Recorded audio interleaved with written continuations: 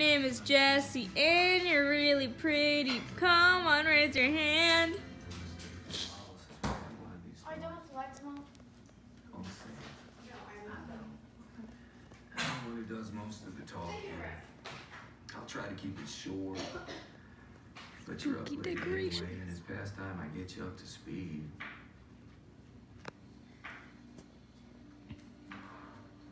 Even is Negan? Today was day 35, Who knows? Oh, he's in Yeah. jail.